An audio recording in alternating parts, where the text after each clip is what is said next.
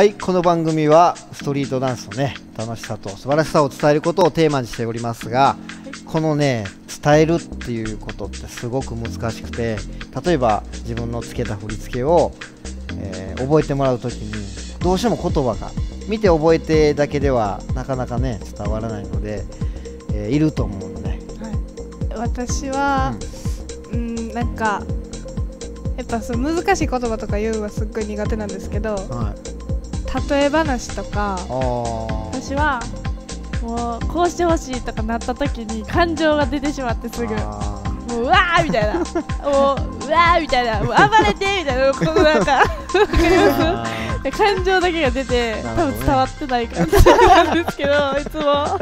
えー言葉を多く知ってないとあかんし、まあ、勉強も必要なんじゃないかなって思うんですけど。はい。